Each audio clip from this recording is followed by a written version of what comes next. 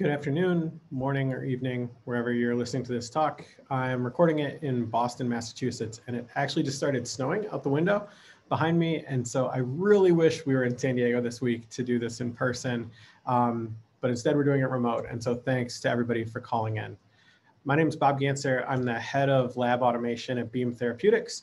And I'm going to spend a little bit of time today just talking about our philosophy when it comes to automation and why we've really made a push towards fully integrated, what some might call complex systems to then run a lot of our experimentation and how we've tried to make them accessible to all of our scientists through the utilization of some software I'll talk about today.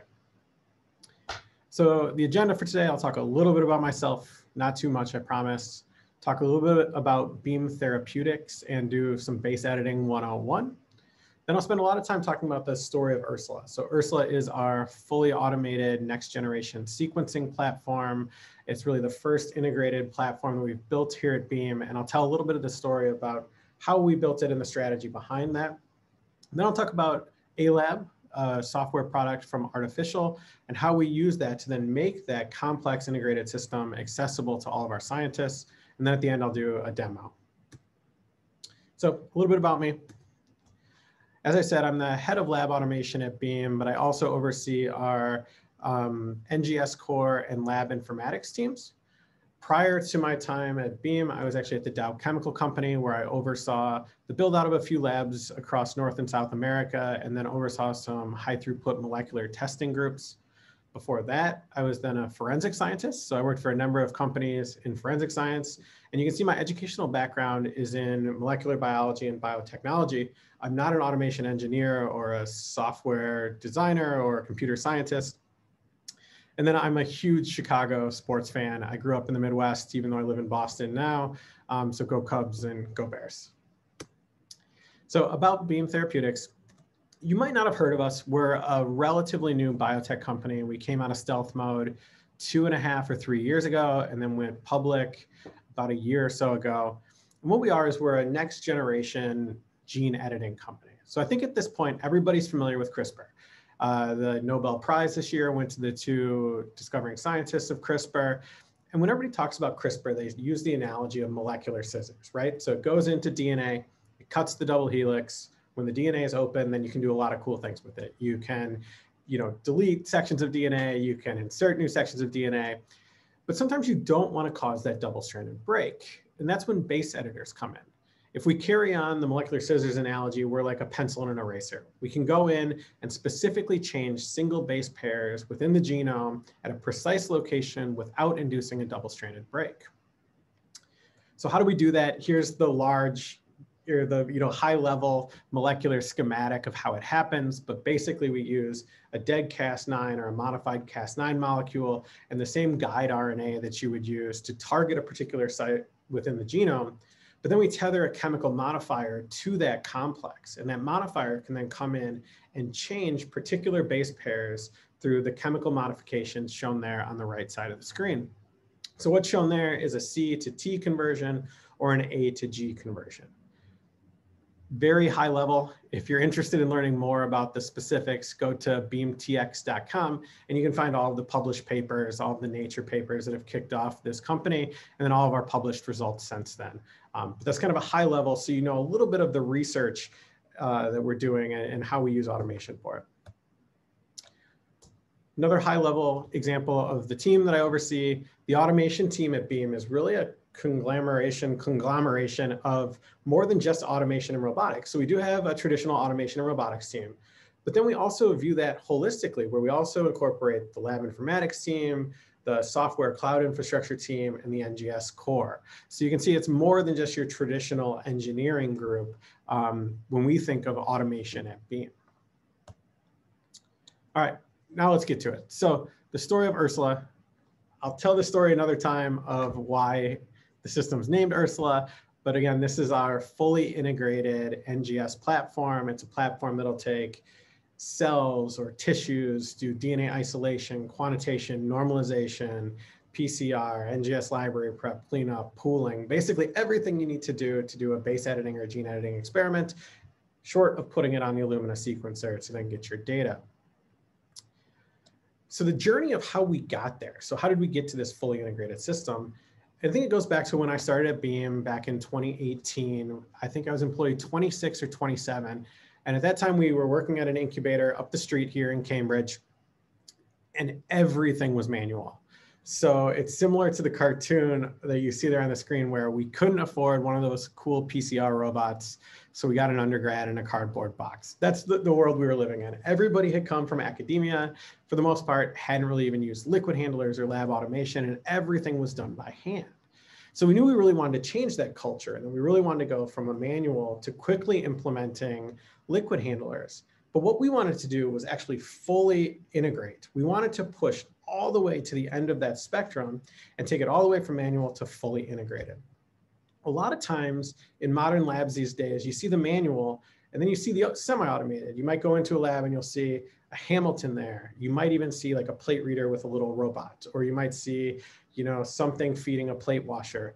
But you don't see the fully integrated platforms in, as often unless you're in an HTS lab, unless you're in one of these big pharma screening groups. So why did we make that push? So really, one of the first things we thought about was we wanted to establish a culture early of automation. We wanted to really drive it into our scientists' minds that really the best way to execute experimentation these days is to use robotics, and that changes the way they think about experimental design. Now you might think, how many more variables can I test? Instead of maybe the high end or low end of a dose, can I test you know, a curve in between? Can I do more reps to power my statistics? Do I design my experiment differently? Instead of maybe putting it in tubes, do I put it into a bar-coded plate? Do I now, instead of doing 24 well, do I move it to 96, 34, 15, 36? It changes the way that now your scientists might think about designing experimentation. The other thing that we really thought from a fully integrated platform that you get is fair data capture. It's a big buzzword these days, I know. But I really don't think you're going to get to complete data capture unless you automate it. The example I talked about of the liquid handler just sitting there on the bench. So you've got a liquid handler, you walk up, you put your plates on it, it does its thing, you walk it over to the centrifuge, you press go, you run it for a certain amount of time and a certain amount of speed, and you should write that down, but you don't. It's a busy day in the lab. This happens to me all the time, and you just forget to write it down. A day later, you're going to type up your experimentation and you know what you were supposed supposed to spin it at, but did you spin it at that speed? It's not captured anywhere. Whereas if you've got all of that on an integrated system, you can make sure you're capturing every step of the process. So then now you not only know the data that's generated, but everything that happens along the way. And you're never going to get that complete metadata picture unless you automate that for the scientists. We're asking too much of our scientists otherwise, and they're not going to record all of that. We just know that to be true. The next thing is we we're really poised for pretty rapid growth. As I said, I was employee 26 or 27 when I started, and we're almost at 200 about two and a half years later. So we knew we were going to do a lot of hiring on the horizon, but we didn't want to hire people to just come in and be bored sitting at the bench pipetting from well one to well two. Those weren't the positions we wanted to hire for because they didn't set us up for the rapid growth that we're looking for. We wanted to hire specialists that could add value, that can build infrastructure here, that can build things at Beam, that set us up for long-term growth and success, not just bodies to get the science done. And then lastly is the ROI. Typically, you see this at the beginning of why fully automates. You know, the first things that come up are you can miniaturize, walk away time, instrument utilization, all those are really important and I don't discount those, but I don't think that they should be at the top of our ROI arguments anymore as to why we're fully integrating. I think we really need to look at some of the other things in addition to those when we're making these justifications. So why doesn't everybody fully automate? Well, it brings up this clip from Jurassic Park that I always think about a lot. You think that kind of automation is easy or cheap? Do you think that kind of automation is easy or cheap?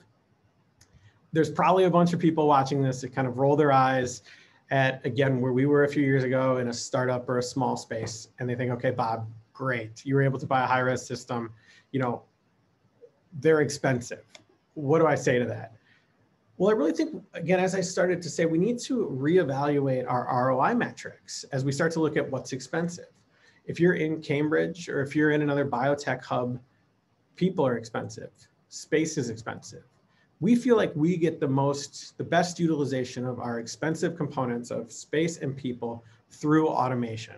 And so through that lens, then it starts to justify the expense. In addition, automation prices are coming down.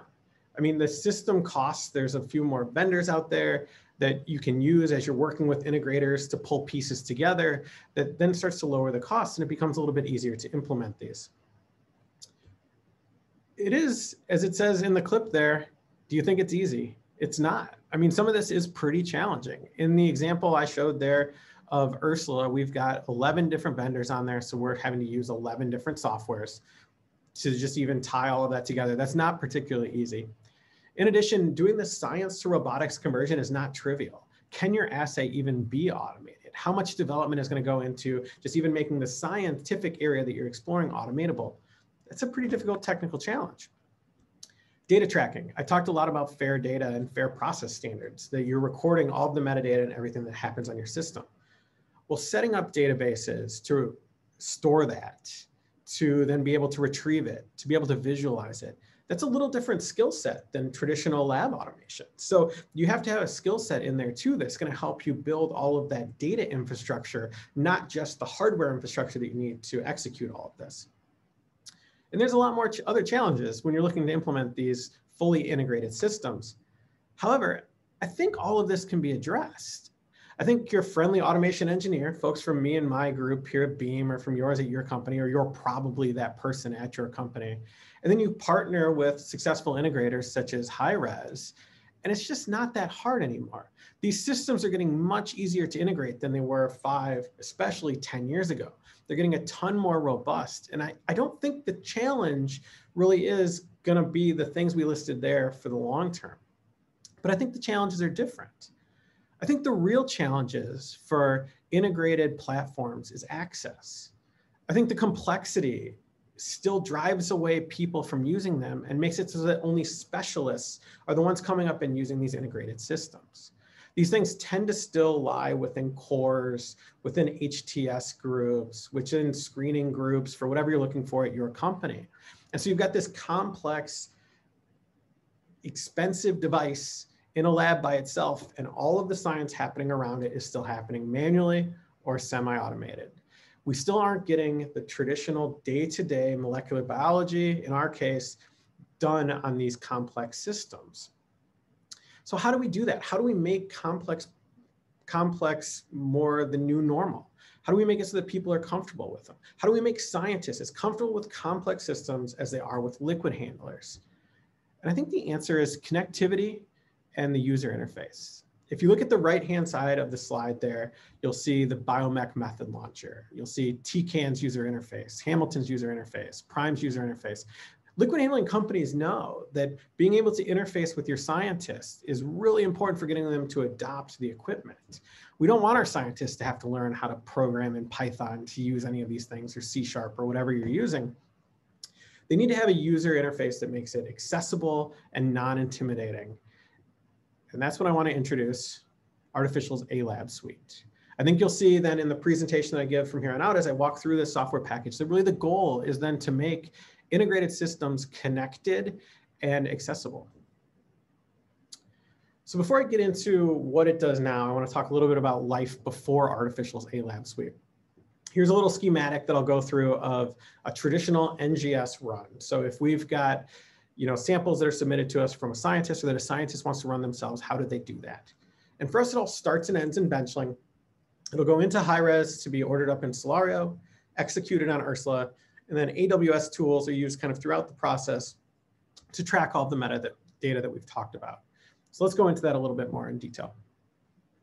So for us, everything starts in Benchling. If you're not familiar with Benchling, it's a cloud-based LIMS system um, in this case, I'm showing an example of an ELN where you might go in and design your experiment, set up your plates. You then might use their request module to then go in and request, in this case, a number of NGS samples that you'd like submitted to Ursula to be run. You then go into HighRes Cellario system, and Cellario is great. It's really easy to use for those of us that are automation engineers. But there's a couple things that just through our practices, we find are difficult to translate over to our scientists at times. For one, if you look at the left-hand side of the screen, it's a list of methods. the scientist needs to go in and select the methods they would like to use. So let's say they want to do a DNA isolation. Do they pick DNA isolation version one or version one copy, version two or version two copy, incubate, microserve? I can't imagine we're the only team out there that just has a hodgepodge of methods that we've all made edits to and changes to that are version two final dash final that is then really complex for people to come up to the instrument and know what the latest version is that they should use. Then there's a great UI within Cellario where you go in and you drag your plates into the microserve, into the AMBI store, into your Liconic, your Cytomat, whatever you're putting on your devices. But you have to know the plate type that is being used. You have to know the plate type in the method that's then going to be used later down the line. And again, it just forces our scientists to be more familiar with the methods than they typically are. Once it's all ordered up in Cellario, then they go up to Ursula. And I think this is where the real challenge begins. You've got a scientist that is specialized in their domain, but not necessarily lab automation. And we're expecting them to come up to a device and know where to put Hamilton tips, where to put carriers, where to put troughs, how to put seals, peels, how to prime a MultiFlo, how to use a mantis there's a lot there on this system of a number of different companies that can be very daunting to then walk up and use if you're not intimate with this devices and using them every day. Then we've got a pretty complex, or not complex, but a good pipeline that then we use through AWS to make sure everything on Ursula is constantly being tracked, loaded up to the cloud, and then ultimately then delivered back to Benchling where it can be visualized, and then things such as inventory can be updated and represented properly. So life before A Lab was messy. It's a beautiful mess. I'm really proud of this. We put a lot of work into making it all uh, come together and it works great, but it's messy. It's intimidating. It's not particularly approachable that folks outside of our special circles, I mean, all of us at SLAS know all of these devices probably. We know how to use all of these things, but you go to a CRISPR conference and that's not going to be the case. And those are my clientele here that I need to make sure that they can use this system. So life after ALAB is powered in one place. Everything is within the ALAB suite. Now we've got connectivity to Benchling, where we can then design and think up our experiment, take it all the way through A lab, all the way through final data generation and capture. So what does that look like? Here's the first intro to A lab, and it basically shows that it's a web-based app that allows access to your lab from anytime, anywhere, on any device. This is great. Anybody from our lab can then log in on your phone, on an iPad, on your Mac, on your PC, and we all see the same screen of pending work, system status, anything about our lab that we want to know, we can just go into aLab suite and find it. The next level down is then A Lab Ops. A Lab Ops then, and I'll talk about this a little bit more later, but allows us to connect to Benchling. It basically shows a list of all the pending orders for any of the assays that we support on Ursula. It then allows us to go in and select the orders that we would like to select and batch them in whatever manner we want to.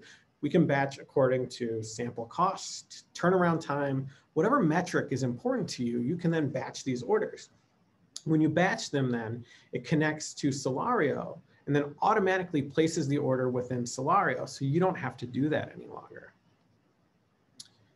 Once you've done that, then it takes you to A-Lab Assistant. An A-Lab Assistant is covering for that area where I said you have to walk up to Ursula and you're new to the system, you don't know what to do. I'm going to give a demo of this so you can see exactly what it looks like, but it's going to walk you through all of the specific steps of things that you really need to think about as you're loading a complex system such as ours, and it does it in a really beautiful interface, as you'll see. So this is kind of how it works for us at Beam. We've got at the beginning, the Benchling connectivity for everything. So as orders are placed in Benchling, they seamlessly sync to ALAB. As they're batched within ALAB during the ops process, all of that is fed back in a continuous loop and connectivity to Benchling so that then order statuses are changed, inventory is changed, metadata is tracked. It then connects seamlessly into our HighRes Cellario system and places that order for us so we're not even having to go into Cellario. It'll then take us through to the assistant where then we can load up the devices. And what's really cool is then once you hit finish on the assistant in ALAB, it's actually gonna start the instrument. So you don't even have to go into Cellario to then start everything um, to get your data. So again, we're going all the way from experimental design connecting it all the way through execution and data generation all in one spot. So to show it kind of in action, some action shots of how we actually use this at Beam. On the left-hand side, again, another demo of the assistant. And what we do is we actually hold those on or use an iPad. And the iPad's got magnetic strips on the back of it that we put on different devices. So you can see if you're going up to a Hamilton, you can stick it on there. It'll show you the schema and walk you through how to load everything you need to for the Hamilton, where the carrier should go, you know, where you should put your tips, where you should put your plates, your troughs, recording lot numbers. I'll show you all of this in the demo. You then take that iPad and you use it as a digital checklist as you walk around your system. So you take it over to your Ambi store, you take it over to your microserve, you take it over to your devices. And as you walk around the system, it's gonna walk you through everything you need to do to load the system and operate it properly. As it's doing that, it's also tracking all of the metadata. Who's doing it? Who's loading it? Did they actually do this step? Were there any issues that should be noted? Are there lot numbers that need to be recorded? Um, how many tips are being loaded or need to be loaded? All of that then is being visually presented to the user and recorded during this stage. All right, so let's get down to it. I'll actually give you a full demo. This goes really quickly, but I'll show you kind of what the entire ops and then assistant page looks like within ALab. So here's the home screen. You go in and you pick Ursula in this case to look at it. And here's all the pending orders. You can then batch those as I had said, and then choose run them right away, run them at a different point in time, run them after a previous order. And then it's gonna give you all of the information you need pulled in from Benchling of sample numbers, sample types, all of that. This is then the assistant screen. So you can see it'll go in and start to walk you through on the Hamilton, where do you put your carriers? Now it'll show you your tips. Do you have 144 tips on there? Do you have 406 of the clear one mil tips on there? So it tells you exactly how many tips you need loaded, where you put your nested tip racks, where you put your tips in the entry exit. One part I really like is I always forgot which trough was supposed to have which buffer in this assay. And so it walks you through exactly which one is supposed to have, exactly how much volume you're supposed to have in there with the dead volume that's calculated for that particular trough or carrier. It'll then allow you to put in the lot number, as you could see there. And you can actually see it'll let you embed videos. So if there's a complex loading task that you wanna make sure gets right, that uh, carrier gets pushed in all the way or that it gets left out like it should, you can highlight those via video. It's now gonna walk through all the rest of the system. So even if there's not something to be loaded, it's important to know, is there anything there? How many times have you left a plate on a device and then the robot goes to put something else on there and it crashes and it causes delays? Or how many times have you gone and you haven't checked that there's been a prime or that there's no you know, tips stuck in the way, that your waste is empty. It's gonna walk you through all of that. Here you can see it's walking you through a MultiFlo. Uh, they've got beautiful 3D renderings of basically all the devices so you know what you're looking at. And then here it'll walk you through, did you empty your waste? Did you prime it? Now you can see it's actually gonna walk you through the Ambi store and it's gonna give you the exact stacker, the exact stacker location. Should A1 be facing out or facing in? That matters. It could put your plate completely backwards when it goes to stamp it if you don't specify things like that. And those are the kind of things that you don't think about unless it's elevated directly to you. Here's the microserve. You can see it actually like spins in the diagram. Uh, we have multiple colored plates. We have red, blue, clear plates. Those are all highlighted here. It's going to tell you exactly which stacker you need to put stuff in and how many of each labware type you need to operate this properly. Here you can see it's walking through the other Hamilton. We have two Hamiltons on this integrated system. Again, Hamilton carriers can be moved. So you gotta make sure those are on the right track or it's gonna cause a big issue and a crash later on. The last thing it's gonna walk you through are say peels, seals, labels. Here's one where, how often do you change out the peels? Once a month? So do you always remember how to do that? It'll prompt you with a video on how to actually change out the peels if that's something that needs to be done. And then when you hit finish here, it's gonna start the system. So at this point then everything initializes on the system, it starts to run, and you can go back to then batching and planning your work. You don't have to do any interaction with Cellario. You don't have to go to any other software. It can all be controlled, run, and tracked within A Lab. So we really feel like this is kind of the next level for lab automation and robotics is combining these integrated systems from HRB Robotics, and then the great connectivity and UI, making those accessible to the scientists when you're using the A-Lab suite.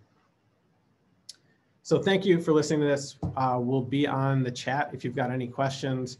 And a big thank you to our partners, Artificial and HighRes Biosolutions, uh, for letting me talk today. Thank you.